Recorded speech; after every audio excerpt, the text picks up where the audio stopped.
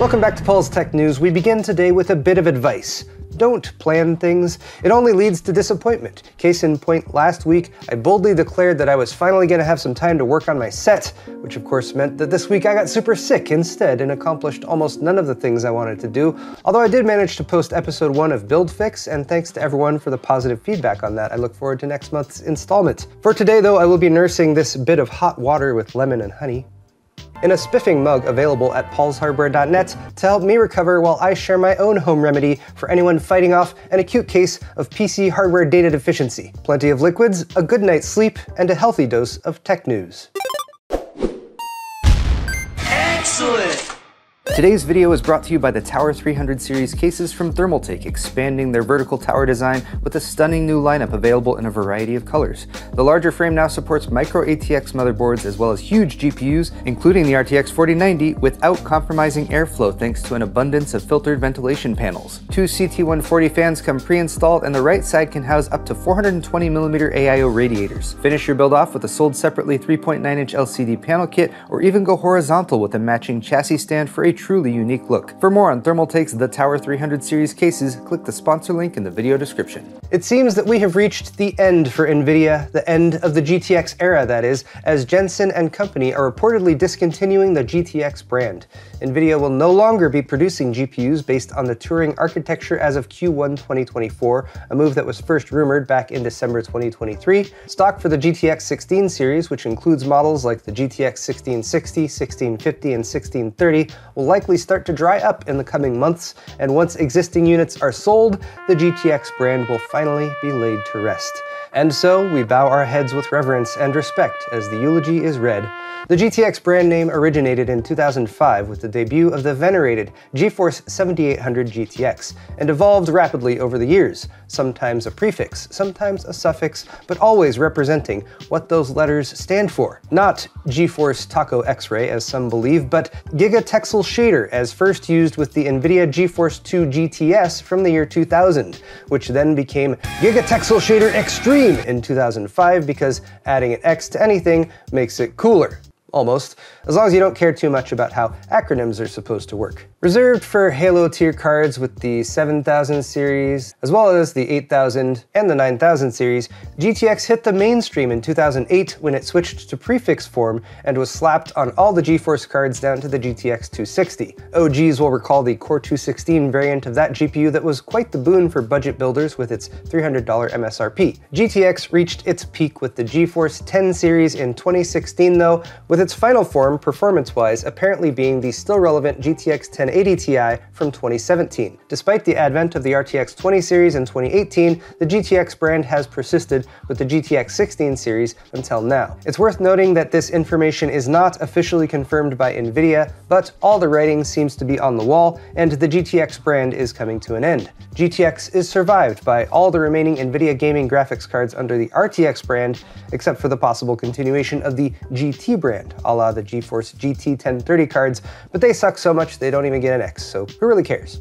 Now that we've talked about NVIDIA's past, let's discuss AMD's future, as new leaks originally found on LinkedIn have been spotted by the Korean website Gamma Zero Burst, which seem to reference AMD's next next-gen CPU architecture Zen 6. To clarify, we're talking about AMD's mobility CPUs here, which are used in portable devices like laptops and handhelds, and also note that the term APU, or Accelerated Processing Unit, is often used to refer to a CPU with integrated graphics for mobile or desktop. AMD's new lineup of APUs for future mobility and desktop platforms looks a little bit like this. The upcoming Strix or Strix Point APUs will likely feature the Zen 5 core architecture and a refreshed RDNA 3.5 iGPU. Those are expected to launch in the second half of 2024. They'll include a hardware-based NPU for AI acceleration called XDNA2 Ryzen AI, and then in 2025 they'll be followed by Kraken Point, which will also utilize Zen 5 cores with RDNA 3.5 iGPUs. The LinkedIn post, which came from an AMD engineer who supposedly worked on these projects, also referred to codename Sarlacc, but Sarlacc seems to be related to the 4nm class Strix Halo APUs, but might feature a different IO die configuration, which might mean it's a chiplet design, and that could result in a premium APU with 16 cores and 40 GPU compute units. Although a lot of assumptions are being made here, and that would be pretty cool as long as it doesn't also involve discovering a new definition of pain and suffering as you are slowly digested over a thousand years. Also, Sarlacc has two C's. The most interesting part of this leak has the fewest details though, and that's Soundwave, which could be the code name for a next next-gen APU based on Zen 6 Morpheus cores and RDNA 5 GPU architecture, with a possible launch in 2026. Much of this is speculative though, as already mentioned, so for now let's anticipate the unveiling of AMD's Zen 5 core architecture, which is coming much sooner. Likely, it will take place at Computex in early June. And would you look at that? I still have quite a few stories to cover, and I'm starting to feel my medication kick in, so to spare you any more slurred speech than is normal for this show, let's knock them out efficiently during tech briefs. The GPU market has been slowly settling after the slate of Q1 launches from Nvidia and AMD, and even if you cared little for those new cards, the general upshot is a more favorable buying environment for a lot of mid-range PC builders. The AMD Radeon RX 7700 XT is the latest GPU to experience this in the US, dropping to $400 this week, making it a much more attractive option than it was before when it cost more money. AMD has officially reduced the MSRP of this card by 7% to $419, and models are already dipping well below that. As of Friday, the Sapphire Pulse RX 7700 XT is less than $400 at Newegg after a $10 promo code. Intel's Oregon fab showed off an unboxing of their newest toy this week, a $400 million TwinScan EXE 5000 high-NA EUV machine, shipped to them by Netherlands-based manufacturer ASML. It took a bit more time than your typical unboxing would, given that it shipped in 250 crates and weighs about 330,000 pounds total, but it's fascinating to see the tech being installed that will allow Intel to make their next generation of processors, starting with 18 angstrom and hopefully moving to 14 angstrom for mass production. I think it's cool just to see the number of staff involved, just the crazy rigging and harnesses they're using to keep everything safe, and the fact that all of this has to be done in essentially a clean room environment. NVIDIA appears to be attempting to dissuade people from using tools like Zluda, which made headlines in recent weeks since Zluda allows native CUDA apps to run on non-NVIDIA hardware like Radeon GPUs. The NVIDIA Online EULA has been updated and now says you may not reverse engineer, decompile, or disassemble any portion of the output generated using SDK elements for the purpose of translating such output artifacts to target a non-NVIDIA platform. Sounds like they mean business, unless you consider that a EULA is not necessarily the most legally binding document that exists, and they're regularly disregarded in actual legal proceedings. That said, NVIDIA is probably a lot more worried about drop-in solutions that threaten their AI business rather than, say, home users running Blender in CUDA mode with an RX 7900 XT. AMD might also be going ahead with another thing that was inspired by NVIDIA, using hardware-based AI acceleration for FSR upscaling. AMD CTO Mark Papermaster, that's not Mark Papermaster, that's Mark Papermaster, but he hinted at just such a thing in an interview with the No Priors podcast, stating, We are enabling our gaming devices to upscale using AI, and 2024 is a really huge deployment year. And yes, that's vague, and that's why I said might at the beginning of this bit. They could just be referring to machine learning that's used to build the upscaling model rather than acceleration on the GPU itself, as is the case with NVIDIA's DLSS and Tensor cores. But don't be too surprised if AMD goes this direction with RDNA 4 or RDNA 5. Speaking of AMD copying NVIDIA, Team Red also makes AI accelerators, and they were also blocked from exporting them to China by the US government, and they also manufactured a cut-down version to slip in under the export restrictions, the MI309 versus the original MI300. And why do they always use bigger numbers for those cut down versions. Anyway, they were also told that the new AI GPU was still too powerful and that they must obtain a license from Commerce's Bureau of Industry and Security in order to sell it. No word yet on if they're actually doing that. At least the government isn't playing favorites, at least, and we can rest assured that here in the US, our intelligence is far more artificial than in China.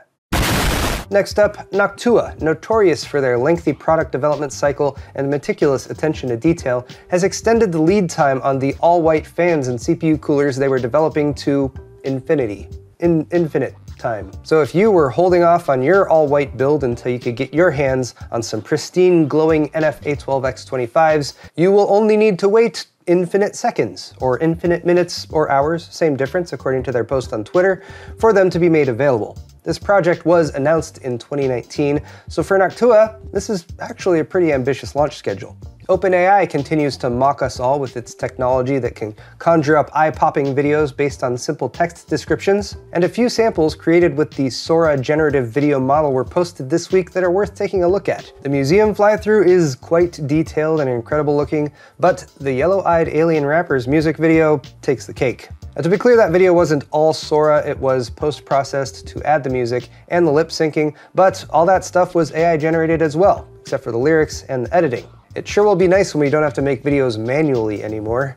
But finally, for those not familiar with EU's Digital Markets Act, please note that it took effect on Thursday and is now enforceable. Ars Technica summarized it nicely. Under the DMA, companies designated as internet gatekeepers, which for now is Alphabet Google, Amazon, Apple, ByteDance, Meta, and Microsoft, must follow strict rules to ensure that they don't engage in unfair business practices that could limit consumer choice in core platform services. It's a lot to cover in detail, so I recommend checking the articles if you're not familiar, but in general, the push to prevent established market leaders from abusing their position for their own profit seems to be something that many support, as long as you're not those specific companies. And we'll see how things play out when it comes to enforcement, which is the biggest question for now. Second only to my big question of when tech news is going to be done so I can go get some rest and get healthy for next week. And the answer is now. So there you have it guys, tech news for the week. And if you liked it, click that like button or leave me a comment down below. While you're down there, all the articles I talked about today are linked in the description if you're interested.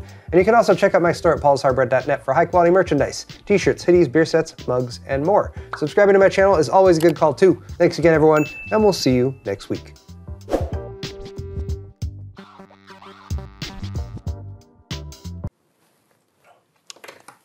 No, Sarin, why did I do this? Why did I even do this? Now his helmet fell off. Stand. Where's your helmet, Sarin? Oh no, this was running the whole time.